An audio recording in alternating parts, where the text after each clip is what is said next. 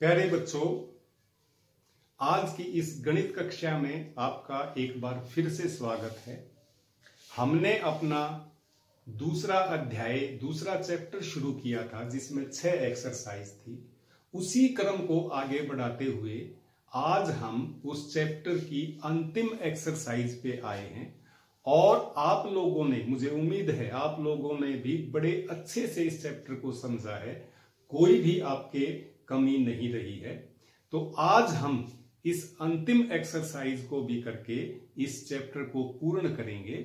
इस अंतिम एक्सरसाइज में हमारे पास जो सवाल हैं, वो है कि रेखिक रूप में बदले जाने वाले समीकरण।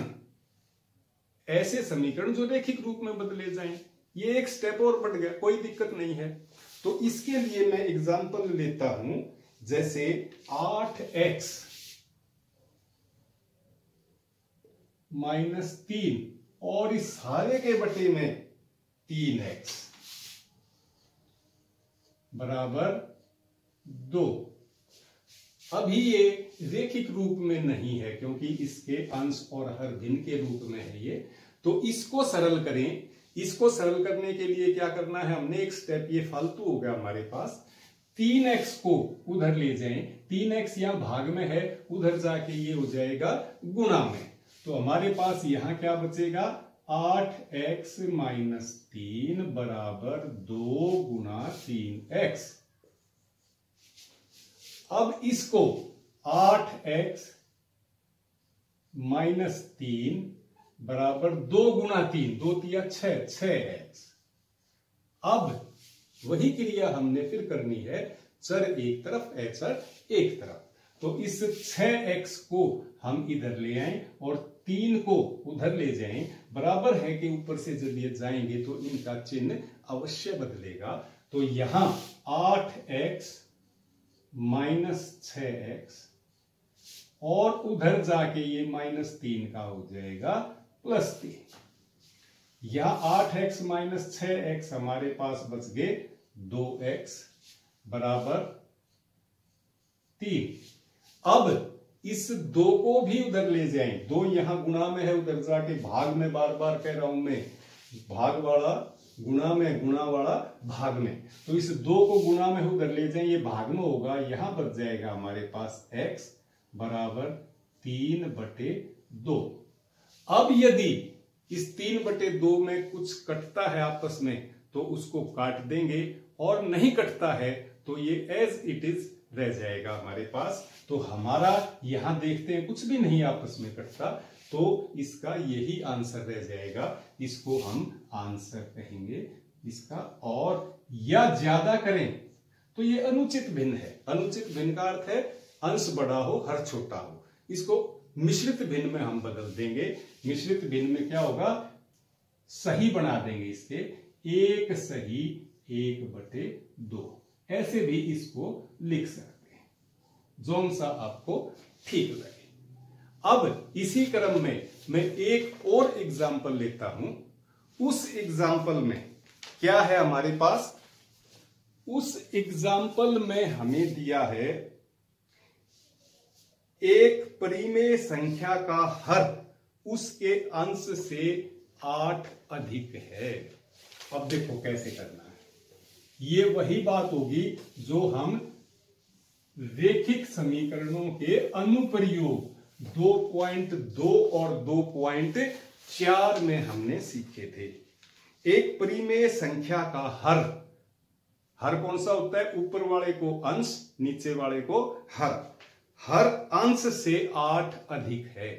कौन सा अधिक है? हर अधिक है अंश से। अंश छोटा है। यदि अंश में सत्रह जोड़ दिया जाए तथा हर में से एक घटा दिया जाए, तब हमें तीन बटे दो प्राप्त होता है। वह परिमेय संख्या ज्ञात कीजिए। इस परिमेय संख्या में अंश छोटा था, मैंने पहले भी कहा था, छोटे को पहले माने तो माना परिमेय संख्या का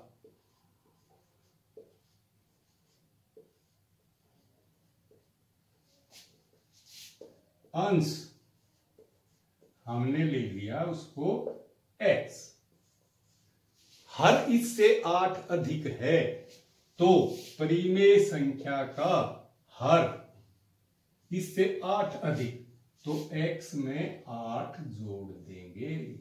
X जमा आठ। अब संख्या क्या बन गई? संख्या। संख्या आपको पता है, अंश बटे हर। यानी कि x बटे में x जमा आठ।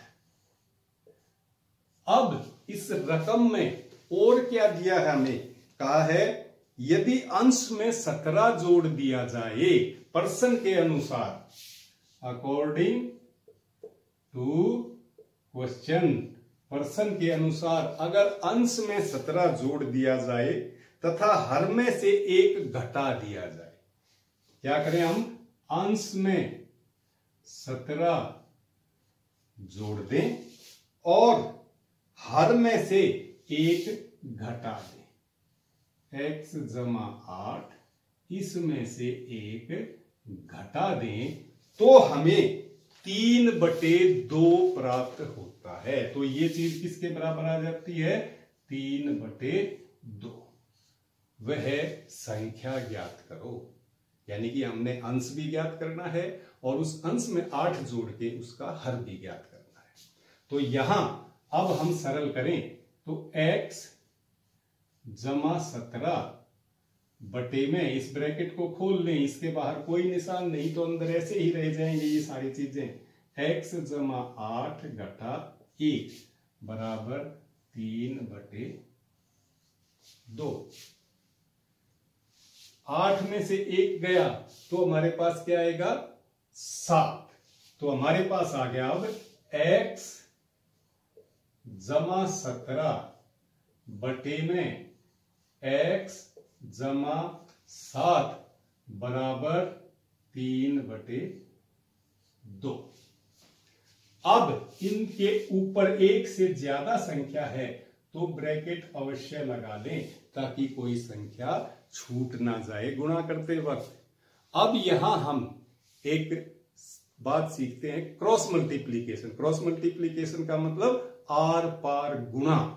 आर पार गुणा कर लें। आर पार गुणा का मतलब इसको इससे गुणा करते हैं और इसको इससे गुणा करते हैं। इसको दो से गुणा करें तो दो से गुणा करें तो ये आ गया हमारे पास दो गुणा में एक्स जमा सत्रह। बराबर तीन को इससे गुणा करते एक्स जमा सात। खोल लें। दो एक्स जमा चौतीस। बराबर तीन एक्स जमा इक्कीस। अब इसको सर एक तरफ़ चर एक तरफ़, सिंपल बन गई अब तो ये।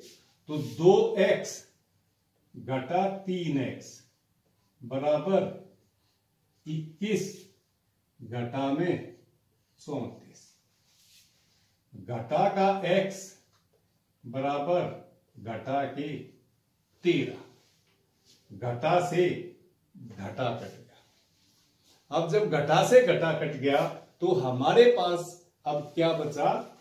इसको हम एक बार साफ़ कर लें, थोड़ा सा ऊपर से, क्योंकि नीचे जगह नहीं बची। हमारे पास आ गया x बराबर तेरह। और x क्या मानना था हमने? संख्या का अंश। इसका मतलब उस संख्या का अंश तो आ गया तेरह। अंश आ गया तेरह। और हर, जैसे कि हमारी रकम में दिया था कि अंश से आठ अधिक है तो इसमें आठ जोड़ दें तो हर आ जाएगा। तो हर देखें अब इसका हर बराबर इस संख्या में आठ जोड़ दें। तेरह जमा आठ बराबर इक्कीस। अब हमारी संख्या का अंश तो आ गया तेरह और हर आ गया इक्कीस। इसका मतलब हमारी संख्या आ गई अंश बटे हर। अंश बटे हर का मतलब तेरह बटे इक्कीस। ये हमारा आंसर आ गया। तो प्यारे बच्चों, आज हमारा ये चैप्टर खत्म हुआ। मुझे उम्मीद है आपको अच्छी प्रकार से ये समझ आया होगा। अगर फिर भी कोई कमी है तो आप कभी भी मेरे से संपर्क करके इस बारे में अपनी शंका दूर कर सकते हैं। मैं हर समय आपके लिए हाजिर हूँ। अगली क्लास में हम अपना कोई और टॉपिक संभवतः दो के बाद तीसरा चैप्टर लेंगे और उसके बारे में पढ़ेंगे। तो आप हमारे इस चैनल को सब्सक्राइब अवश्य करें ताकि आपकी कोई भी कक्षा बीच में छूटे ना सभी काम आपका सुचारू रूप से होता रहे। तो आप हमारे इस चैनल को सब्सक्राइब अवश्य करें, लाइक अवश्य करें और इसका बेल का आइकन अवश्य दबाएँ ताकि सबसे पहले आपको सूचना मिलती रहे। धन्यवाद।